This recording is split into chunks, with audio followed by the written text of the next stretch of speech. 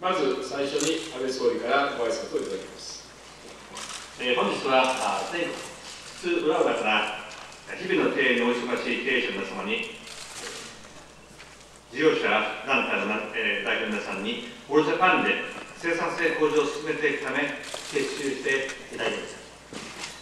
たアベノミクスによって企業収益や雇用が大幅に改善し名目 GDP は過去最高の水準に、来本年の春季労使交渉では多くの企業で4年連続のベアを実施するなど、過去3年の賃上げの流れが続いています。一方、アベノミクスの景気回復によって人手不足の克服が経営者の皆さんの最大の課題の一つとなっています。小規模な事業者やサービス業、地方での企業経営に携わる皆さんは大変だと。この課題を乗り越えるためには、生産性労働生産性の向上しかありません。また、政府では、労使代表のご協力に対し、長時間労働の抑制など、働き方改革を進めています。魅力ある職場にして、人手不足を解消するためには、働き方改革を前に進めなければなりません。他方、中小企業団体の皆さんが言うように、そのためにも生産性向上のための改革を進めていかなければなりません。2年前です、えー、総理官邸のまさにこの場に皆様にお集まりをいただいて以来、生産性向上に取り組んでいただきました。え、今日はこの2年間の皆様の取り組みのご報告をいただきたいと思います。安倍政権は、え、本日、生産性向上国民運動推進協議会を設立し、働き方改革とともに、生産性向上のための改革と人づくりのための改革に一体的に着手していきます。皆様のご協力をよろしくお願いを申し上げます。それでは最後に安倍総理から本日の取りまとめを伺いたいと思います。はい、えー、まず、全国67企業の、えー、事例研究に、えー、ご協力をいただいたトヨタ、キャノンをはじめとする、えー、助言者側の皆さん、また、受け入れていただいた企業経営者の皆さんに、えー、御礼を申し上げたいと思います。本日、えー、ご参加の皆様には、参加証書を用意えー、戦後の行動成長をリードしたのは、改善活動を代表する、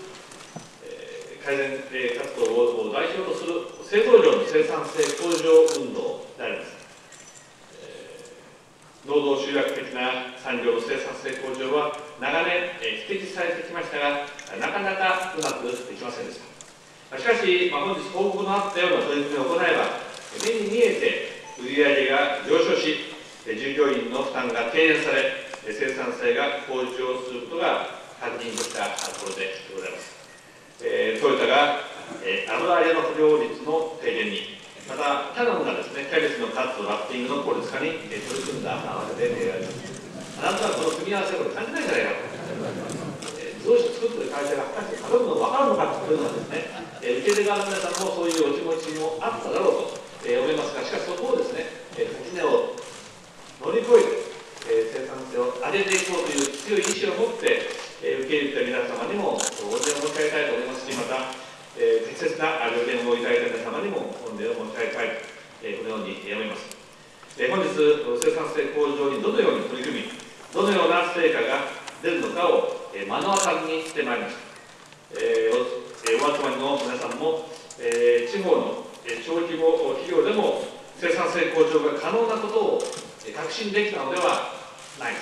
えー、こう申し上げでございます。まあ、今日のプレゼンテーションによってですね、製造業とサービス業が違うということではないということが、まあ、明らかになった、このように思います。え次回の協議会でえ報告されるトラック運送業、宿泊業、介護事業でも効果的な取り組みが報告されることを楽しみにしております。え私としては5分野のみならず、人手不足が顕在化している他の産業分野にも拡大を検討したいと思います。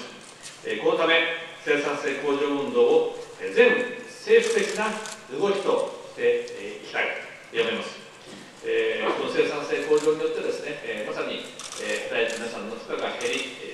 売上上がり、そして賃金が上昇していく、